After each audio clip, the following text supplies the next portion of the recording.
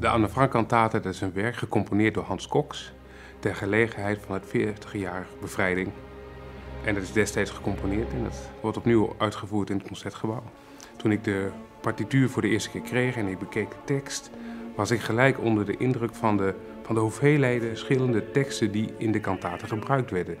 Gedichten van Rilke, eh, fragmenten van, van Adolf Hitler die spreekt voor de Rijkstaak, eh, gedichten van Paul Celan, fragmenten uit het Oude Testament. Nou, wat ik het meest interessant vind, is dat uh, die teksten over alle tijden gaan.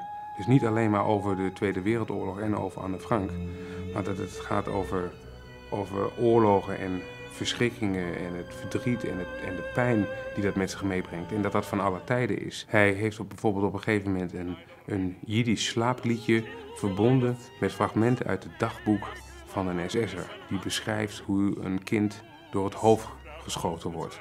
En op hetzelfde moment zingt de alt daar dat slaapliedje doorheen. En dat is natuurlijk uh, ja, ongelooflijk. Wat ik spannend vind aan de muziek is dat je gelijk twee verschillende werelden hoort.